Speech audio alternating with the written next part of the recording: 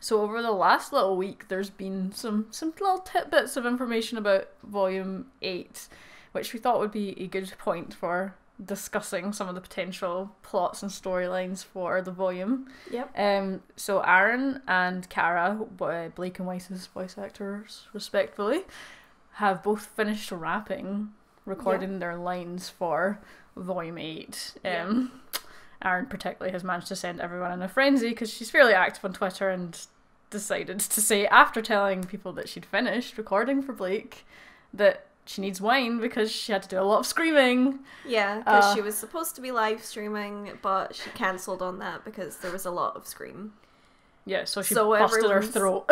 yeah, so everyone's now wondering why yeah, there was and all the screaming. what potentially could those two characters' plots be for the volume, with the information on top of that that we know that the volume is basically going to be across two days. Yeah. There's obviously the potential amongst that for like maybe an episode or two to be like flashback, like backstory, maybe a Team Stark episode that everyone always begs for. There's always the potential for that. Yep. Um, if they're gonna do it that way, but other than that, it's probably it's it's always good fun to speculate, especially when we get teased merciless, mercilessly by the voice actors and the writers. Especially Arryn Zech. We Mm. love you, but oh my god, what are you doing to us? So, what what do you think Blake's plot might be in Voidmate? She did take quite a back seat in the last volume. She did. Honestly, I don't know, and the not knowing scares me. Because usually we've got a bit of an idea. Can you speculate, please, instead of just telling me you don't know? Otherwise, this video is just pointless because it's just going to be well, you going, what's I your don't know. speculation? You're just going to pass it on to me. What's your speculation? For Blake. Yeah.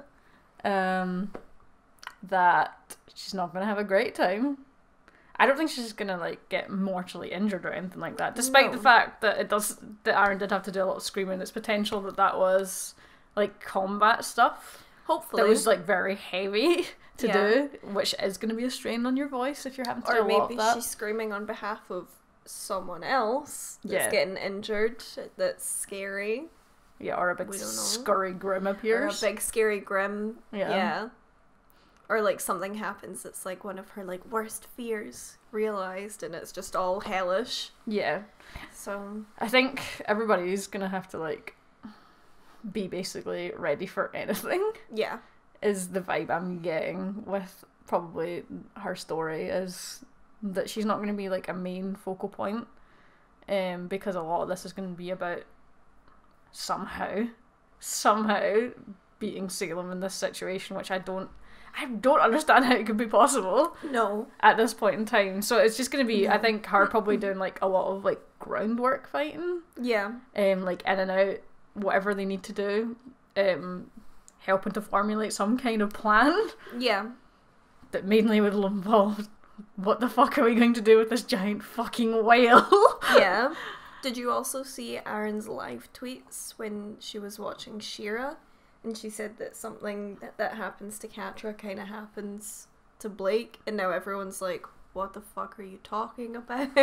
well, to be fair, so much happens to Catherine in the last season of She-Ra that like it's hard to nail down, and I, I'm not going to read into that one too much. no. But people think that it might be um, like an, an expansion on her semblance. That would be cool. Like being able to, like, if she has a shadow clone, then she can shadow out of it and then back. that would be cool. So that's what people are speculating because when Catra went through the portal for the first time, she was quite sick. And that seemed to be about the time that Arryn sent out the tweet, was when it was around about that scene. So people are thinking, that's it. What? okay, I. N- no. that's that's that seems a bit too. But maybe. But I'm not saying definitely no, but mm, It's a, it's a definite maybe. I'm gonna press doubt. I would like to see an expansion of Blake's semblance, though. To be fair, because it's Yeah. kind of limiting. Um, it's, It's good, for good. stealth, And she's worked with it well. yeah, and she has improved it little by little. But I'd like to see something really fucking cool with it, you know? Yeah. yeah. It's just not as flashy as um like other character semblance. I think that's the thing. Like Weiss's semblance is so cool. And then you've got Yang's, which is just like actual fire. Yeah, yeah. So- And was that one of the highlights of the Ace Ops' fight when it got activated? Because it was the first time it had been activated and like. well, not the first. The first time it got activated in the volume, not the first time it had been activated in years. No, but it was the first time it had been activated in front of the Ace Ops, from what we can gather, because yeah, they were not expecting that. yeah. It was. Oh. It was good. It was good shit. We're getting distracted by the last volume, Yeah. But. But what a good scene. But yeah, Blake, Anyway. Blake's gonna have a hard time, but she's gonna be Yep. okay. Is basically my thesis for eight for for Blake. She will get through to the other side, fine. Yeah. Maybe a little bit traumatized in places, but I mean, I think if any of them come out of it not a little bit traumatized, yeah, then I don't know. I feel like it's inevitable that they're gonna come out of it with some trauma.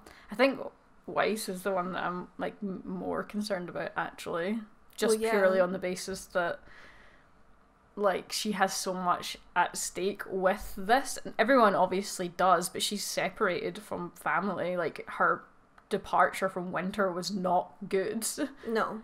and as far as we're aware, Winter's the person that she has the best relationship with in her family. Yeah. Um, And that's like her older sister. out. Yeah. Like she can't fight. Yeah, and she left her in such a bad position, Mhm. which was obviously an incredibly hard decision to make. And Winter, to her credit, gave Weiss a chance to flee Yeah. because she didn't really want her to get arrested. No, of course she didn't. Why would she? Because at deep down, she knows that what Weiss is doing is the right thing. It's just she can also make that call. Her hands are tied. I guess. I don't know. I think she's not. I don't think she is quite hundred percent like, oh yeah, Weiss is doing the right thing and I'm doing all the wrong things. It's No. that. Yeah, there's a lots of shades of grey going on. Yeah, like I think she can see where Ironwood was perhaps not like acting fairly or acting the way that he usually would, and that's why she was like, "Go, I'll give you a head start," kind of thing, because she has to give orders. But Yeah. yeah, I think she's seen the the fallout. I think that'll play heavily for Weiss though, is the guilt of essentially having left another family member behind. Um, yeah, again. Again, was obviously what she did with Whitley and what her mother referenced to her, and then there's the fact that she's kind of left Whitley and her mum to it after Jacques got arrested. So It's all fun and games in the Schnee household. yeah, you wonder if, if Jacques and Watts will see each other in, in jail, I know. and, and then Qrow and Robyn too, just slung in the same I mean, s- w- cell. Watts, Watts isn't in jail. He's not in jail. Yes, he is. No, he's not. Yeah, he is. When He did looked he to get be- arrested? Uh, he was out he got on the street with. no, no, he got tossed. Did he get tossed? Remember Ironwood and him kicking kicking shit yeah, up no, together? but then he was on the street, was he not? No, I'm pretty sure he was in a building looking out, and been Oh, like, "Hi, You're absolutely right." Hi. Salem, Yeah, hi, big whale." he was looking out. like, Uh-huh. yes, there's my bitch. That's right. there's my queen. Yeah. So I just, I kind of want. Oh God, I'm so, I'm so off tangent. you don't help. You gotta help. Sunny. You gotta help keep the discussion on tangent. I'm the one that distracts it though. I know. I don't help it either. You gotta corral me a little bit.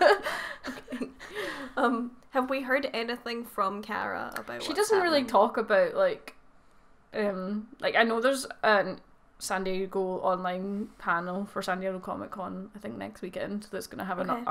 RT panel which will probably have some RWBY stuff on it um that we might get more information from but like I mean yeah Kara's not like super active on Twitter she usually just like tweets like some fan art or Yeah, or like small things like oh yeah she might say in an interview yeah I'm finished yeah. yeah But aside from that, it's not like. By the way, I'm freaking out. yeah yeah which I kind of love too yeah. Because it means we have to like play a more of a guessing game with Weiss, but I I'm very interested to see Weiss's story. Yeah.